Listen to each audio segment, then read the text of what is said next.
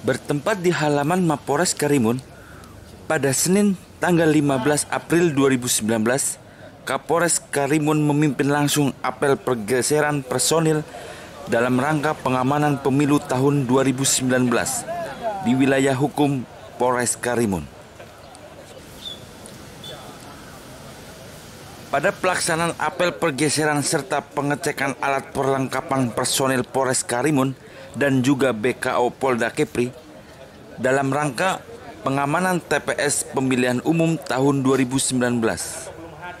Kegiatan apel yang turut serta dihadiri oleh Pamenwas Dapil 3 Kabupaten Karimun, Kombes Pol Dr. Andes Anzari Muratua Sinaga, Dikrimsus Polda Kepri Kombes Pol Rustam Mansur, Kepala SPN Polda Kepri, Kombes Pol Aliusius Suprijadi SIK, serta Subden 4 Den A Pelopor Sat Brimob Polda Kepri dan diikuti oleh seluruh personil BKO Polda Kepri dan personil Polda.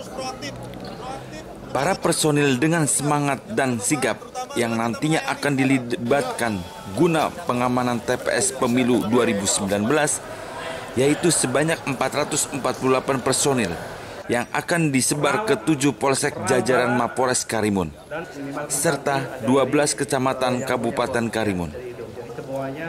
Seusai melaksanakan upacara apel, Kapolres Karimun AKBP Hengki Pramudia SIK menjelaskan bahwa ada beberapa personil yang terlibat dari pengamanan TPS yang berasal dari personil BKO Polda Kepri sebanyak 171 personil, 30 personil anggota BRIMOB, serta dari perwira asistensi, perwira pengamat wilayah, dan juga Pamenwa serta perwira-perwira pengawas perpolsek dari jajaran Polda Kepri. TPS. Ada beberapa eh, personil yang terlibat dalam pengaman TPS. Yang pertama personil BKU dari Polda Kepri, ya, ada 171 itu yang pengamanan TPS.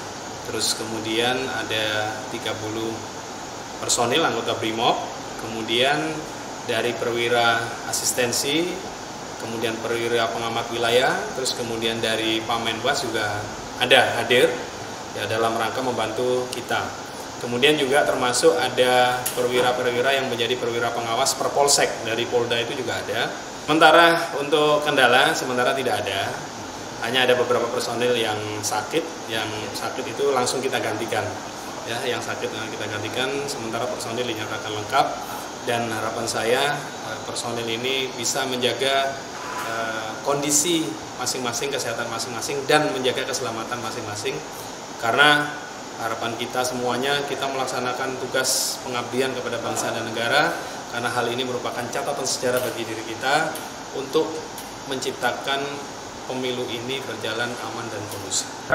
Selanjutnya, seluruh personil yang terlibat dalam pengamanan TPS dalam penyelenggaraan pemilu tahun 2019 diberikan motivasi dan arahan dari tim Pamenwas serta asistensi Polda Kepri. Berikutnya akan dikirim ke seluruh pelosok daerah di 12 kecamatan di Kabupaten Karimun. Diharapkan seluruh personil dapat mengamankan jalannya pesta demokrasi setiap lima tahun sekali tersebut. Sehingga tercipta rasa aman, nyaman, dan kondusif.